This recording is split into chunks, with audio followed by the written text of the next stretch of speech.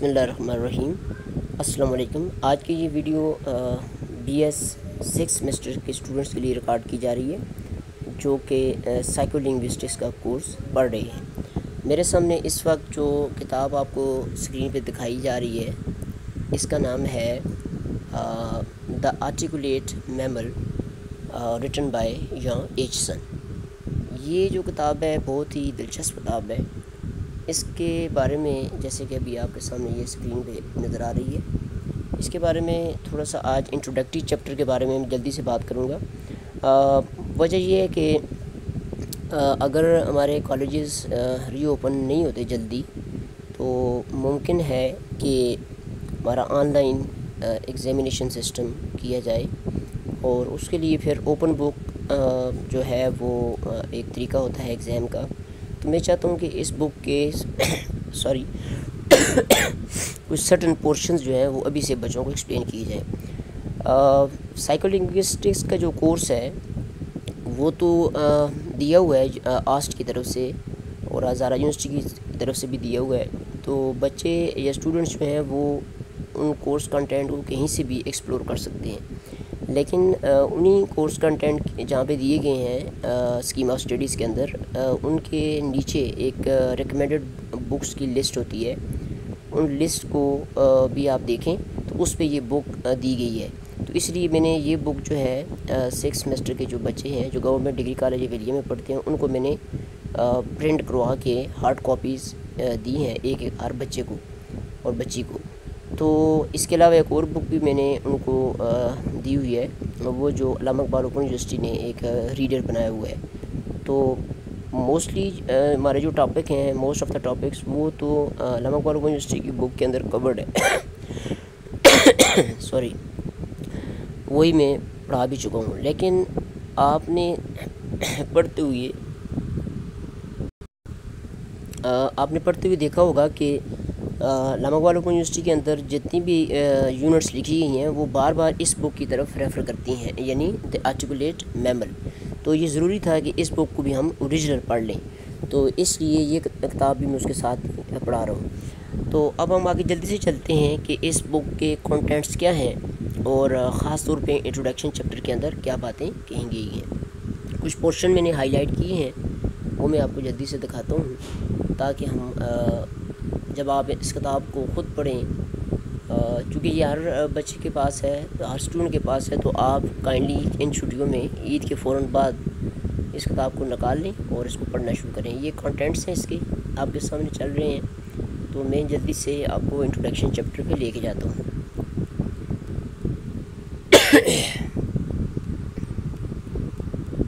तो ये देखिए इसका इंट्रोडक्शन चैप्टर स्टार्ट होने वाला है।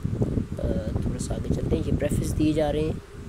जब भी कोई बुक लिखी जाती है तो उसके प्रेफेस दिए जाते हैं। मुख्तलिफ़ एडिशंस के। तो प्रेफेस भी अगर आप पढ़ना चाहें तो आप पढ़ सकते हैं। ये इंट्रोडक्शन है। इंट्रोडक्शन चैप्टर जो है इसका, इसके शुरू में देखिए कि डेफिनेशन दी गई है साइकोलिंग्विस्टिक्स की।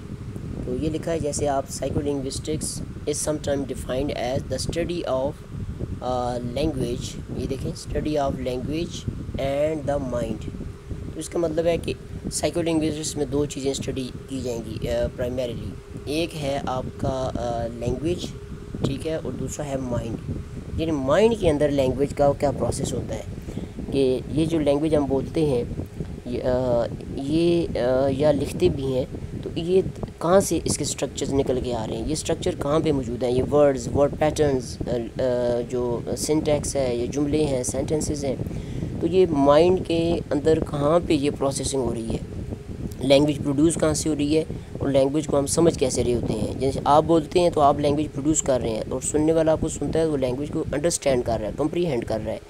तो कम्प्रीहेंड करने के लिए दिमाग चाहिए। तो दिमाग यानी जो माइंड है, वो माइंड के किस हिस्से में ये सब कुछ हो रहा है? यानी एक्चुअल तो ब्रेन होगा ना? ब्रेन के किस हिस्से में ये सारा कुछ प्रोसेस हो रहा है? तो ये समझने के लिए, हमारे लिए बहुत इंपॉर्टेंट है कि हम साइकोलिंग्विस्टिक्स का मुताला करें।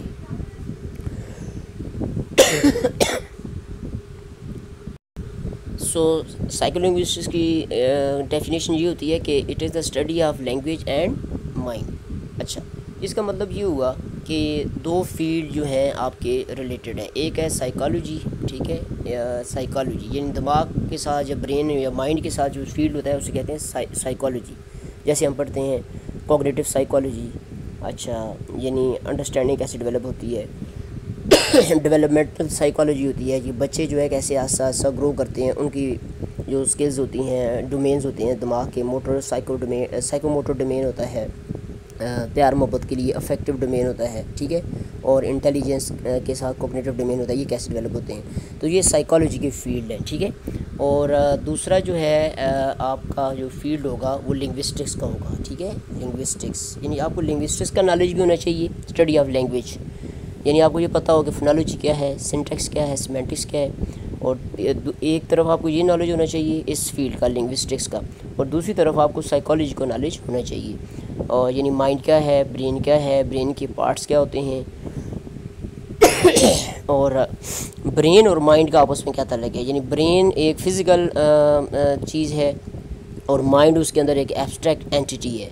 तो ये ये दो दो फ़ील्ड जो हैं इंटर रिलेटेड है। और भी फ़ील्ड इसके साथ आ सकते हैं लेकिन मेन ये दो फ़ील्ड हैं psycholinguistics psycholinguistics mean psychology as well as linguistics और साइकोलॉजी uh, का मतलब क्या होगा? आपके आप अब आप अंडरस्टैंड कर चुके होंगे कि माइंड और लिंग्विस्ट जैसे हम कहते हैं psycho psycho mean mind and linguistics mean linguistics language okay study of language psycholinguistics study of language and brain दूसरे लफ्ज़ों में हम ब्रेन को स्टडी क्यों करते हैं?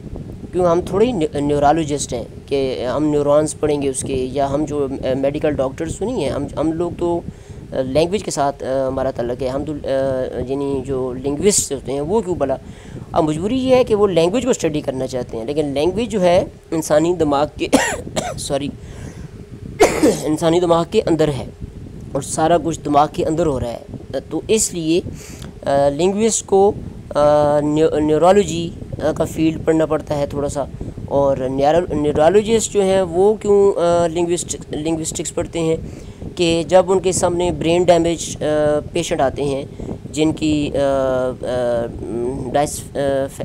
डायसफिक्ट होते हैं या जिनकी स्पीच में प्रॉब्लम्स होते हैं तो वो बोल नहीं पा रहे होते तो उस सूरत में जो मेडिकल डॉक्टर्स होते हैं न्यूरोलॉजिस्ट जो होते हैं, इस, वो देखना चाहते हैं ये स्पीच है क्या? कौन सा वर्ड्स है, कौन सी जुमले हैं जो ये लोग डैमेज हो गए हैं? तो इसलिए उनको लैंग्वेज का थोड़ा सा पता होना चाहिए। इसलिए ये इंटर रिलेटेड फ़ील्ड है न्यूरो लिंग्विस्टिक्स एक लग से फ़ील्ड बना है। यानी न्यूरो लिंग्विस्टिक्स मीन के जहाँ पे आपके न्यूरॉन्स जब आप बोलते हैं, कोई सेंटेंस बोलते हैं तो दिमाग का कौन सा हिस्सा जो है वो एक्टिव होता है। तो इसलिए न्यूरो लिंग्विस्टिक्स एक फ़ील्ड है, वो भी आगे जाके मैं बात करूँगा। तो यहाँ पे ये पहले पैराग्राफ में, यहाँ एचसन ने साइको लिंग्विस्टिक्स की डेफिनेशन दी है और ये भी तय कर दिया है कि हमने क्या क्या पढ़ना है। अब आगे चलते हैं। तो इस हिसाब से देखा जाए तो ये लिखा हुआ है कि aim of all just minute please ये लिखा हुआ है कि aim of aim of all who call themselves psycholinguist is to find out about the structures and processes which underlie a human's ability to speak and understand language. तो ये है जी काम psycho का, कि जो साइको लिंग्विस्ट हैं, जो psycholinguistics पढ़ते हैं या माहरीन हैं इसके, उनका ये काम है वो ये देखें कि ये क्या स्ट्रक्चर्स हैं और क्या प्रोसेसेस हैं प्रोसेस की जमा है प्रोसेसेस कि जो हमारे एबिलिटी है हम स्पीक करते हैं, हम कैसे बोलते हैं और कैसे समझते हैं। ये चीज़ें जानना ये साइको का आ, स्कोप है ठीक है? आगे जाकर मैं मज़ीद स्कोप के बारे में बात करूँगा ठीक है? तो आगे हम चलते हैं थोड़ा सा और आगे बढ़ते हैं। मैंने चीज़ें हाईलाइट की हुई हैं जल्दी जल्दी हम चलते हैं। अच्छा यहाँ पे स्कोप दिया हुआ है कि साइको के जो लोग हैं उनका स्कोप क्या है? उनकी वर्किंग बाउंड्रीज़ क्या हैं? कहाँ कहाँ तक वो जा सकते हैं और क्या क्या वो पढ़ते हैं या क्या क्या वो डिस्कस करते हैं। इसे कहते हैं स्कोप ऑफ़ साइको लिंग्विस्टिक्स ठीक है? अच्छा अब ये देखिए साइको लिंग्विस्टिक्स यहाँ से मैं पढ़ रहा हूँ। Is in many ways like the proverbial hydra hydra एक आपको पता है कि एक प्रोवर्ब्स यानी एक मिथ है। उसमें एक क्रीचर होता है मास्टर होता है। ये लिखा भी है master with an endless number of heads उसके बहुत से हेड्स होती है ना। जैसे ये देखें, इसका एक हेड इधर है, इधर हेड है, उसका हेड ही हेड्स होते हैं हेड्स के ऊपर फिर हेड्स है। इस तरह मॉन्स्टर है, एक मिथ की चीज़ है। तो इसी तरह ये ये कहना चाहते हैं कि ये साइकोलिंग्विस्टिक्स को हाइड्रा के हेड से जो है तशबी दे रहे हैं। कह रहे हैं साइकोलिंग्विस्टिक्स की भी तरह शाखें फैली हुई हैं, यानी ये इंटरडिसिप्लिनरी सब्जेक्ट है, ठीक है? अच्छा आगे देखें, ये लिखा है कि वेद अच्छा there seems to uh, there seems no limit to the aspects of the subject which could be explored. In every subject can be explored. अभी मैंने ज़िक्र किया आ, आपके सामने कि साइकोलॉजिस्ट साइकोलॉजी ये भी एक फ़ील्ड है अच्छा न्यूरोलॉजी ये भी फ़ील्ड है न्यूरो लिंग्विस्टिक्स ठीक है? इवन सोशियो लिंग्विस्टिक्स भी एक फ़ील्ड है आगे जाके हम पढ़ेंगे। तो साइको लिंग्विस्टिक्स का स्कोप जो है काफ़ी ब्रॉड है। लेकिन इसी में एशन बताती है हमें कि तीन चीज़ें तो इसका अहम शोबा है जो ये डिस्कस करती है साइको लिंग्विस्टिक्स ठीक है? अब हम आगे चलते हैं, वो तीन सी कौन सी चीज़ें देखें। ये तीन चीज़ें हैं जो साइको लिंग्विस्टिक्स डिस्कस करती है। Amidst the vast array of possible topics three seem to be of particular interest ठीक है? ये बुक आपने भी इस तरह पढ़नी जिस तरह मैंने हाईलाइट की है। इस तरह आहिस्ता आहिस्ता आपके अंदर रीडिंग हैबिट्स डेवलप होंगी। और आप ख़ुद चीज़ें पढ़ने के काबिल हो जाएँगे। बजाय नोट्स पे डिपेंड करना विकीपीडिया पे जाना, बहुत ज़्यादा गूगलिंग करना, या जस्ट टीचर का लेक्चर सुन के इतफ़ा कर लेना, इससे आपके अंदर डेप्थ नहीं आएगी नॉलेज में, खुद चीज़ें पढ़ें। अभी हम डिस्कस करें स्कोप ऑफ़ साइकोलिंग्विस्टिक्स ठीक है? तो बहुत से टॉपिक्स एक्सप्लोर कर सकती है, लेकिन तीन तो बुनियादी हैं, जो आपको मैंने पढ़ाए भी हैं, आपके आपके पास जो बुक है, उसके अंदर आपने देखा भी होगा कि पहला यह है प्रॉब्लम ऑफ़ लैंग्वेज एक्विजिशन के एक्विजिशन प्रॉब्लम के नेचर और नर्चर कि हम जब पैदा होते हैं, क्या हमें नॉलेज लैंग्वेज का दे के पैदा किया जाता है, या हम ब्लैंक स्लेट्स लेके आते हैं? हमारे अंदर कुछ भी नहीं होता ब्लैंक स्लेट्स होती हैं, जैसे बी एफ़ स्किनर कहता है और फिर हम उसके ऊपर माहौल जो है हमारा, हमारे जो फैमिली मेंबर्स हैं, वो बोलते हैं और हम रिसीव करते हैं और उसके ऊपर लिखा जाता है, यानी अंदर कुछ भी नहीं है। सारा कुछ माहौल से, यानी नर्चर किया जाता है, यानी परवरिश की जाती है उसकी। ठीक है? एक, ये एक इशू है। दूसरा ग्रुप है कि जो सोचता है कि नहीं, हमारे अंदर पहले से एक ऑपरेटर्स मौजूद है we are programmed genetically programmed हमारे अंदर जैसे बाकी स्पीशीज़ हैं, जैसे पिग्स हैं, वो ग्रोनिंग करते हैं। ठीक है? डॉग्स हैं वो बर्किंग करते हैं बर्ड्स हैं वो फ्लाई करते हैं। तो होमोसेपियंस हम लोग जो हैं हम रीजनिंग थिंकिंग करते हैं और हमारे अंदर पहले से आ, वो लैंग्वेज स्ट्रक्चर मौजूद है ठीक है? आगे जाके मैं लैंग्वेज और थॉट का भी ज़िक्र करूँगा कि क्या लैंग्वेज सॉरी लैंग्वेज की प्राइमेसी है या थॉट की। तो ये एक बहुत बड़ा इशू है जो साइकोलिंग्विस्टिक्स डिस्कस करती है ठीक है? इसको मैंने हाईलाइट किया जल्दी से पढ़ भी देते हैं कि do human uh, humans acquire language because they are born equipped with some special linguistic ability ठीक है are are they able to learn language because they are highly intelligent animals ठीक है जैसे इस किताब का नाम भी है द आर्टिकुलेट मैमल कि ऐसा मैमल कि जो बोल सकता है ठीक है वो आर्टिकुलेट करता है वर्ड्स को साउंड्स को बोलता है इसका मतलब ये हुआ कि हम भी एक एनिमल हैं बाकी एनिमल्स की तरह उनके अंदर इंटेलिजेंस कम होती है हम ज़्यादा ही इंटेलिजेंट हैं और हम फिर बोल बोलते हैं। तो इससे अंदाज़ा होता है कि हमें आ, हम आर्टिकुलेट हैं यानी हम हम सिर्फ़ ज़्यादा इंटेलिजेंट है। ऐसी नहीं है हम इंटेलिजेंट नहीं है। इंटेलिजेंट लोग न भी हो इंसान वो लैंग्वेज बोलेंगे। क्यों? उनको लैंग्वेज ऑलरेडी उसका ऑपरेटर्स वदियत किया गया है ठीक है? सिर्फ़ उनको थोड़ा सा ट्रिगरिंग के लिए माहौल चाहिए और जैसे ही वो माहौल मिलता है तो उनके अंदर से जो डीप स्ट्रक्चर्स होते हैं वो ऐसा ऐसा उभर के बाहर आना शुरू हो जाते हैं। आगे चलिए, कि highly intelligent animals who are skilled at solving problems of various types अच्छा दूसरा जो मौजू है साइको लिंग्विस्टिक्स का, वो ये है कि the link between language knowledge and language usage language knowledge हमारे अंदर लैंग्वेज का नॉलेज है, जो हमें दिया गया है, ठीक है, जिसे हम कहते हैं लैंग्वेज एक्विजिशन डिवाइस ठीक है लैंग्वेज एक्विजिशन डिवाइस और फिर लैंग्वेज यूजेज है कि हम उस लैंग्वेज को यूज़ कैसे करते हैं, बोलते कैसे हैं। यानी ग्रामर जो हमें नज़र आती है, बस बाहर जो ग्रामर होती है और एक जो अंदर ग्रामर होती है, ठीक है? इसका आपस में लिंक क्या है, ठीक है? और तीसरी जो चीज़ ये देख देख लीजिए। अभी ये दूसरी पॉइंट ही मैं ज़िक्र कर रहा हूँ कि अंडरस्टैंडिंग सेंटेंसेस एक प्रोजेक्ट है प्रोड्यूसिंग सेंटेंसेस ये दोनों जो है लैंग्वेज यूजेज है। हम लैंग्वेज को इस्तेमाल कर रहे हैं लैंग्वेज प्रोड्यूस कर रहे हैं, ठीक है? और एक बात है कि हमारे अंदर पहले से नॉलेज मौजूद है, साम स्टोर लिंग्विस्टिक नॉलेज जो हमारे अंदर नॉलेज है, जो अल्लाह ने हमें दिया है तो इनका आपस में लिंक क्या है, ठीक है? जैसे हम कहते हैं कॉम्पिटेंस एंड परफॉर्मेंस के अंदर जो हमारा नॉलेज है, वो हम, हमारे अंदर बहुत से स्ट्रक्चर्स हैं मौजूद हैं लिमिटेड नंबर ऑफ़ स्ट्रक्चर्स हैं, लेकिन वो हम कॉम्पिटेंट होते हैं अपनी लैंग्वेज के बारे में। लेकिन जब हम बाहर बोल, बोलना शुरू करते हैं तो हमसे वो परफॉर्मेंस उस तरह की नहीं होती। ये भी एक बहुत बड़ा मौजू है साइको लिंग्विस्टिक्स का। अच्छा अब आगे देखिए, ये थोड़ा सा मैंने हाईलाइट किया, ये भी जल्दी से पढ़ते हैं कि what psycholinguistics need to know ठीक है साइको लिंग्विस्ट ठीक है is this do the types of grammar sorry propose by linguist really reflect a person's internalise internalized knowledge of their language? कि हमारी जो लैंग्वेज हमें नज़र आती है सरफेस पे, हम बोलते हैं दड़ा दड़ा जुमले बोलते हैं सेंटेंसेस हैं, फ़िक्रे हैं वर्ड्स हैं क्या यही सारा कुछ अंदर स्टोर है? वहीं से आ रहा है वो आपस में रिफ्लेक्ट करती है उसको। या ये कम है? आ, या, या जब हम बोलने बोलते वक्त जो एम्बिग्यूटी आती है मसलन ही सा a man with an umbrella ठीक है? अब इसमें एम्बिगुअस सेंटेंस है। तो क्या अंदर भी ऐसा ही है? अंदर ये लग लग से होगा ठीक है? बाहर ये एम्बिगुअस है। तो ये भी एक बहुत बड़ा टॉपिक है इसके बारे में हम पढ़ेंगे।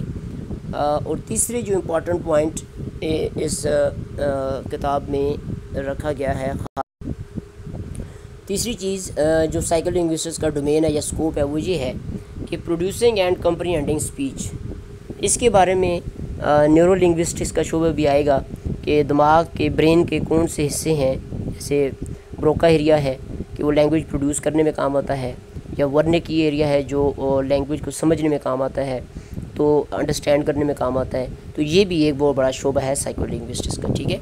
कि what actually happens when a person produces or comprehends a chunk of speech ये तीन चीज़ें इसका डोमेन है साइकोलिंग्विस्टिक्स का। अगर आपसे पूछा जाता है what is scope of psycholinguistics तो आप ये तीन चीज़ें डिस्कस करेंगे। नंबर वन मैं रिपीट कर देता हूँ कि व्हाट इज़ लैंग्वेज एक्विजिशन कि लैंग्वेज हम कैसे एक्वायर करते हैं, ठीक है? नेचर और नर्चर का जो मसला है। दूसरा ये है कि what is a link between internal language and the external language और तीसरा है कि ये प्रोडक्शन एंड कंप्रीहेंशन होती कैसे है। अब ये तीनों चीज़ें जो हैं, कैसे की जाती हैं इनके लिए साइकोलिंग्विस्ट के पास सोर्सेज क्या होती हैं? देखें there are three question which this book examines okay it does so by considering four types of evidence number one animal communication अब इस किताब के अंदर एनिमल्स का ज़िक्र होगा और चिम्स हैं चिम्पेंजीज़ हैं, कुछ फ़िश हैं रैट्स का ज़िक्र होगा, उनकी जो कम्युनिकेशन हनी बीज़ हैं, उनका ज़िक्र होगा। इनकी जो कम्युनिकेशन है, उसको देख के फिर हम आगे बढ़ेंगे और देखेंगे कि ये लैंग्वेज एक्विजिशन क्या है। दूसरा है चाइल्ड लैंग्वेज जो बच्चे होते हैं, उनकी लैंग्वेज को स्टडी किया जाएगा और उनकी डेवलपमेंटल स्टेजेस देखी जाएँगी, ठीक है? और तीसरी जो बात है इंपॉर्टेंट एविडेंस है, वो लैंग्वेज ऑफ़ नॉर्मल एडल्ट जो हम लोग बड़े हैं ग्रोन अप्स हैं, वो बोलते हैं, और नॉर्मल हैं। और फोर्थ वन है कि जो अफेक्टेड लोग हैं स्पीच ऑफ़ अफेसिक्स ठीक है पीपल विद स्पीच डिस्टर्बेंसेस यहाँ पे न्यूरोलॉजी का न्यूरोलिंग्विस्टिक्स का फ़ील्ड आ जाएगा। तो इस इस एविडेंस से सारा कुछ समझा जाएगा कि लैंग्वेज कैसे प्रोड्यूस होती है, कैसे कंप्रीहेंड होती है, दिमाग का कौन सा ऐसा एक्टिव होता है तो ये चीज़ें हैं, ठीक है जी? अब हम ज़रा आगे बढ़ते हैं जल्दी से। ये देखें ओवरलैपिंग फील्ड्स हैं एनिमल कम्युनिकेशन ठीक है? और उसके फ़ौर बाद चाइल्ड लैंग्वेज है, लेकिन बीच में क्या है टॉकिंग चिम्स यानी वही एनिमल कम्युनिकेशन जैसे बंदर हैं चिमपेंजीज़ हैं, वो कैसे उनको कैसे ट्रेन किया, तोते हैं पैरट्स हैं तो क्या वो हमारी तरफ़ बोल सकते हैं? तो ये देखें, एक में बीच में ये इंटरलिंक्ड है। इस तरह जब आप चाइल्ड की बात करते हैं और फिर आगे लैंग्वेज और नॉर्मल अडल्ट की बात करते हैं तो लेकिन बीच में फिर आ जाते हैं eight to four fourteen years old ठीक है? इसी तरह जब आप नॉर्मल से जाते हैं स्पी फैसिक स्पीच यानी जिनका ब्रेन डैमेज हो जाता है और स्पीच मुतासर होती है तो इसके बीच में क्या है? स्लिप्स ऑफ़ द टंग कि हम नॉर्मल लोग जो हैं, हम भी तो बोलते हुए स्लिप ऑफ़ द टंग करते हैं फास्ट स्टार्ट करते हैं। तो ये भी एक इंटर रिलेटेड चीज़ें हैं, ठीक है जी?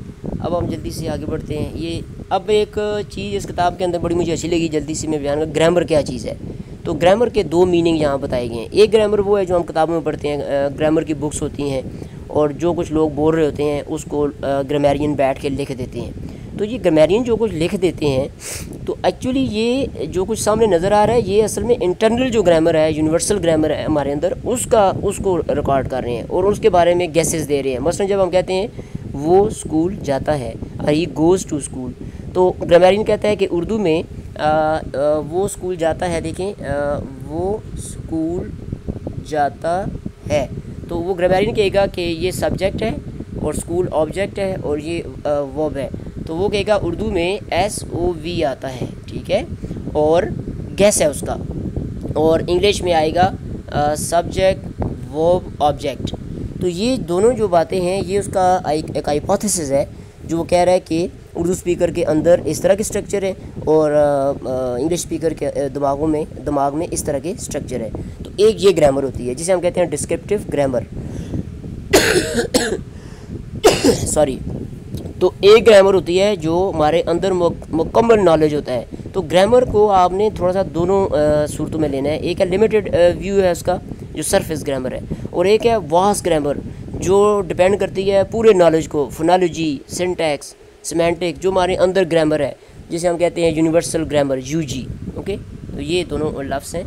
तो ये लिखा हुआ है कि के we assume that in order to speak every person who knows a language has the grammar of that language internalise in their head उनके दिमाग के अंदर होती है। ओके माई गैस अच्छा अगर लिखा है the linguist who writes a grammar is making a hypothesis about this internalise system and is in effect seeing my guess as to the knowledge stored in the head of someone who knows language is as follows अभी जैसे मैंने कहा जो grammarian है, जो linguist है, जो grammar लिख रहा है जैसे कि आपने ग्रामर की बहुत सी बुक देखी होंगी, जैसे A J Thomson A V Martinet की बुक है, या रैन एंड मार्टिन की बुक है, या उसकी थॉमसन की बुक है ईस्टवुड की बुक है there are so many grammar books तो ये जितनी बुक्स लिखी जा रही हैं, ये असल में एक गैस है हमारे अंदर की जो ग्रामर उसके बारे में गैस है, ठीक है?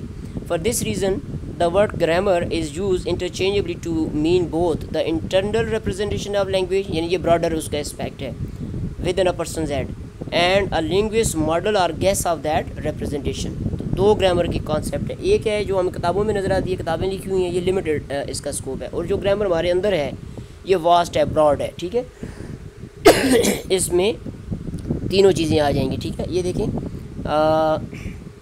for the when we talk about a person internalise grammar the word grammar is being use in a much wider sense okay uh, than that found in some old books. It refers to a person's total knowledge of their language. Okay, that is syntax, phonology and semantics. ये इस तरह देखें तो ये होगा grammar यानी जो grammar universal grammar है उसके अंदर फोनोलॉजी भी है सिंटेक्स भी है सीमेंटिक्स पूरा जो आपके अंदर नॉलेज है जो अल्लाह ने आपको दिया है पैदा करते वक्त नॉलेज उसे कहते हैं ग्रामर जैसे हम कहते रहते हैं देखें जी ग्रामर तो इंसान के अंदर होती है ग्रामर तो इंसान ग्रामर का मतलब यहाँ पे लिमिटेड नहीं है जो आप ग्रामर में active passive direct indirect sentences देखते हैं ये ग्रामर है कि लैंग्वेज का जो नॉलेज है, जो आपकी लैंग्वेज है, उसके बारे में जो रूल्स हैं रूल्स अबाउट योर लैंग्वेज वो सारे आपके अंदर मौजूद हैं स्ट्रक्चर्स हैं डीप स्ट्रक्चर्स हैं, वो मौजूद हैं। ये बहुत बड़ा एक वसी तो इस किताब में देखा एचसन ने ग्रामर के बारे में भी पहले बता दिया कि जब आगे बार बार ग्रामर का लफ्ज़ आएगा तो आपके जहन में वो लिमिटेड स्कोप ना आए ग्रामर का, बल्कि एक बड़ा स्कोप आए जो मॉडर्न ग्रामेटिकल थेरी है, उसके अंदर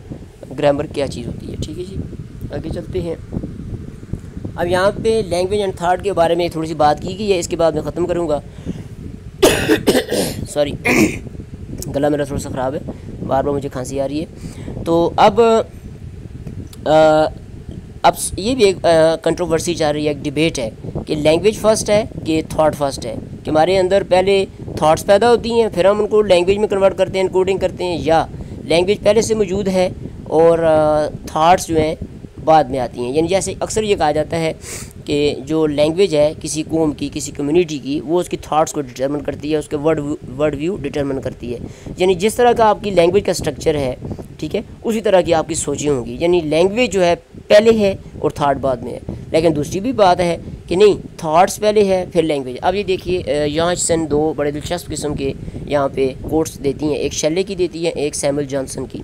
अब पहले मैं थोड़ा सा पैराग्राफ जल्दी से पढ़ता हूँ कि ये देखिए कि perhaps here we need to mention also a vast and woolly subject which is not the concern of this book the relationship of thought and language and thought okay although it is clear that thought is possible without language it seems that people ये देखें people normally think in terms of their language that is यानी कि a person thoughts are pre package into words and grammatical categories अच्छा आगे देखिए। This means that when we are discussing production and comprehension we shall not spend अच्छा इसको छोड़े, आगे चलते हैं। यहाँ पे देखिए। When discussing this producing speech we shall take it for granted that the first thing a person tells our self to do is select the relevant ये ये देखिए अभी। Select the relevant words and syntax rather than package together concept and see if they can be translated in to language यानी ये Acheson जो है Acheson ये इस सोच की तरफ़ ज़्यादा हमी है कि पहले आप लैंग्वेज सेलेक्ट करते हैं, फिर आप थाट प्रोड्यूस करते हैं। अच्छा आगे देखिए। In other words it is necessary to take sides in the controversy as to which came first language and thought अब देखें। We are more on the side of nineteen century poet Shelley अब Shelley क्या कहते हैं? शल्ले क्या कहते हैं? Shelley कहते हैं ही गेव मैन स्पीच अल्लाह के बारे में कहते हैं he gave man speech and speech created thought यानी अगर लैंग्वेज ना होती तो थाट भी ना होती।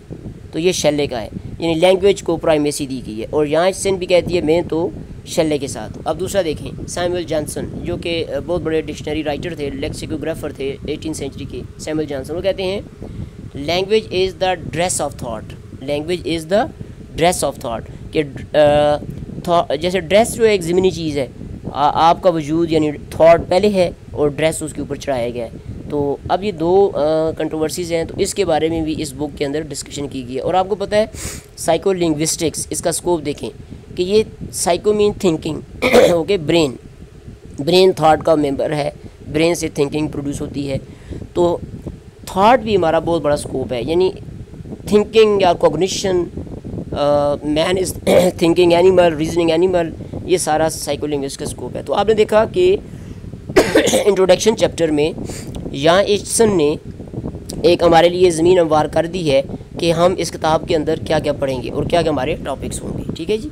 तो अब यहाँ पे इसको ख़त्म करते हैं और आगे मेरा ख्याल में हमारा चैप्टर नंबर वन स्टार्ट होने वाला है।